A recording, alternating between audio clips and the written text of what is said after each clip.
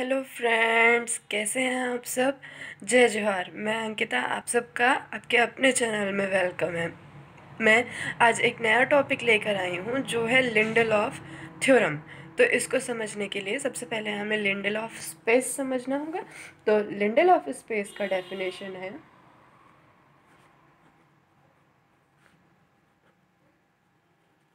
A topological space xt is said to be a Lindelof space if if and only if every t open cover of x has a countable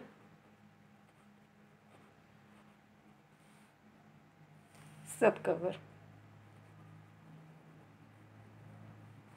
अगर every T open cover of X X के T सभी T open cover के पास अगर countable सब cover है तो हम बोलते हैं वो स्पेस एक लेंडल ऑफ़ स्पेस है करके तो ये तो हुआ लिंडल ऑफ़ स्पेस का।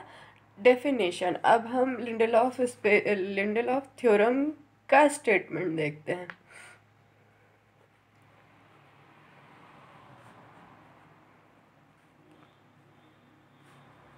इसका स्टेटमेंट फ्रेंड्स मैंने जब इसको स्टडी किया तो देखा कि एक ही थ्योरम एक ही स्टेटमेंट को कई प्रकार से लिखा गया है। तो मैं वो सब आपके साथ शेयर करना चाहूँगी।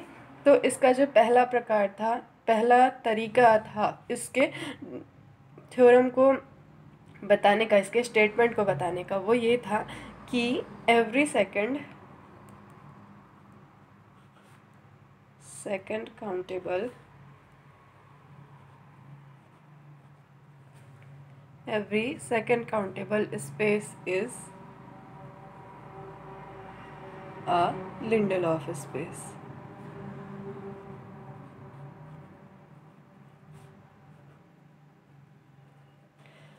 That's why यहाँ पे मैंने बताया कि लिंडल ऑफ़ स्पेस क्या होता है, क्योंकि आपको समझने में आसानी हो। सेकंड काउंटेबल स्पेस तो मैंने वीडियो बनाया हुआ है, दे दूँगी उसको। लिंक आप लोग वहाँ से देख लीजिएगा। लिंडल ऑफ़ स्पेस मैंने यहाँ पे बता दिया। ये पहला तरीका हुआ। या फिर इस थ्योरम को और कैसे लिखा जा सकता है? Every open cover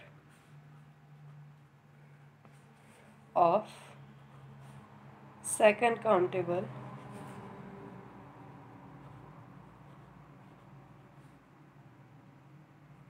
Space is reducible to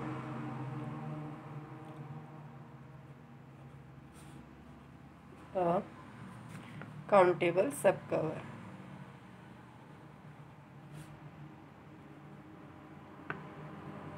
या फिर इस थ्योरम को और कैसे लिखा जा सकता है? इसका थर्ड स्टेटमेंट हो सकता है if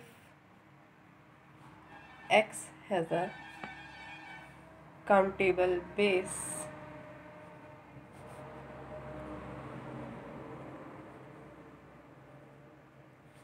for its topology then prove that. Then prove that any open cover of any open cover of x contains a countable space sorry cover countable subcover ये तीन तरीके हैं, या फिर एक लास्ट तरीका, अगर बोलना चाहे, प्रश्न देना चाहे एग्ज़ाम में तो ऐसे दे सकता है कि state and prove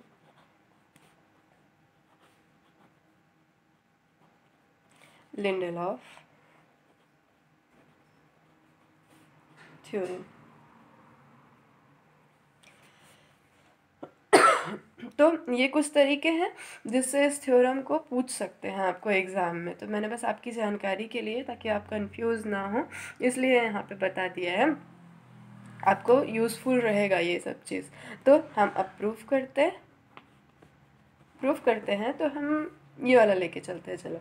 Every open cover of second countable space is reducible to countable subcover proof करते हैं. Let x to be a second countable space.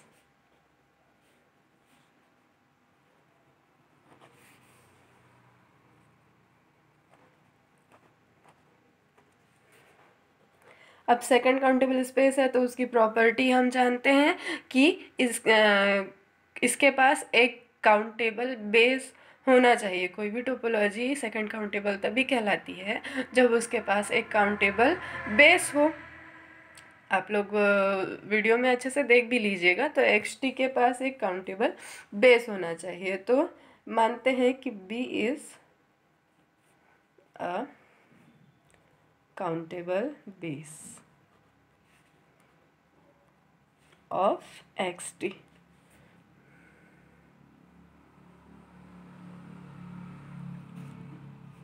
and एक और चीज़ मान के चला है कि C is an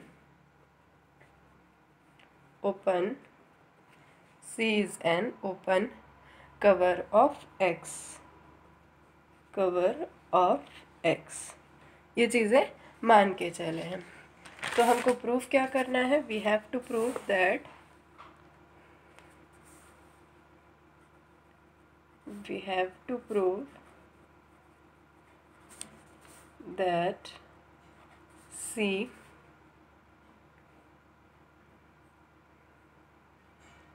has a countable subcover.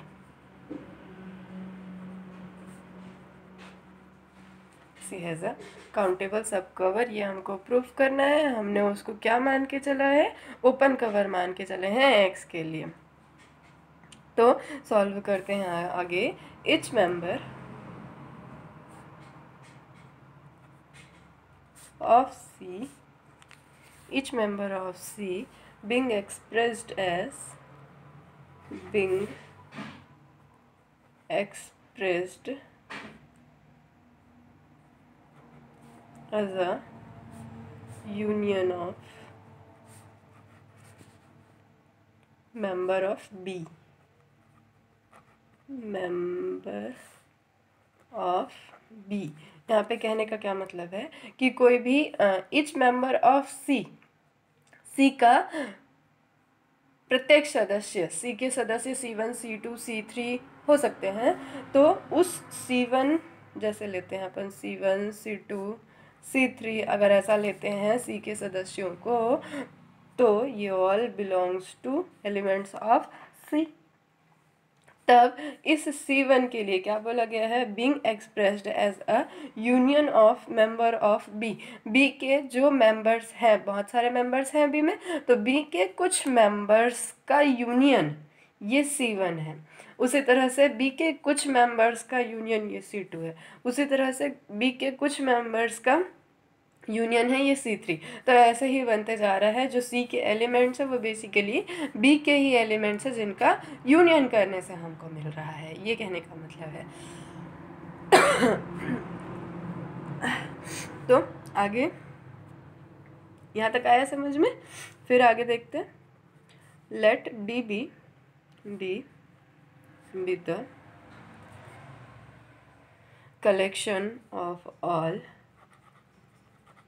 collection of all those members of, those members of B. मतलब कि C1 के पास जो जो एलिमेंट्स हैं वो C2 के पास B के जो जो एलिमेंट्स हैं C3 के पास B के जो जो एलिमेंट्स हैं, ऐसे ही पूरा C में जो जो एलिमेंट्स हैं B के लिए, उन सभी का कलेक्शन हम मानते हैं कि वो D है। अब इससे ज़ाहिर सी बात है कि क्या है डी इज़ काउंटेबल काउंटेबल होगा? काउंटेबल क्यों होगा? तो it is it is sub collection of sub collection it is sub collection of the countable base the countable base जो बी है, वो काउंटेबल बेस है तो काउंटेबल बेस का सब कलेक्शन है डी इसलिए ये भी काउंटेबल होगा। ये बोला गया है। तो आगे बढ़ते अब डी काउंटेबल होगा, ये पता चल गया है। तो D is countable open cover of X countable open cover हो गया डी के एक्स के लिए डी। अब लेते हैं let for all, let for all. D I belongs to D D I belongs to D. B chosen a. A b. Chosen a. Ci belongs to C. Such that such that DI belongs to CI implies the collection of all collection of all DIs collection of all these CIs is also a is also a countable open cover countable open cover of x of x जो C आई है, वो countable open cover होंगे। C I is also a countable open cover of X तो C को मिल गया। क्या मिला? C has a countable sub cover जो ये सी आईज हैं, वो सभी सी में ही हैं। तो सी के लिए वो काउंटेबल सब कवर हो गए। यही हमको प्रूव करना था। We have to show that C has a countable sub cover हमने काउंटेबल सब कवर सिद्ध कर दिया। तो that's prove the theorem that is Lindelof theorem तो ये था मेरा आज का वीडियो फ्रेंड्स आपको कैसा लगा? आप कमेंट बॉक्स पे ज़रूर बताइएगा. अच्छा लगा हो तो लाइक ज़रूर कीजिएगा. कोई क्वेश्चन हो तो प्लीज़ कमेंट बॉक्स पे लिखिएगा. सब्सक्राइब नहीं किया है अगर आपने मेरा चैनल तो सब्सक्राइब ज़रूर कर दीजिएगा. और मेरा वीडियो पूरा देखने के लिए थैंक यू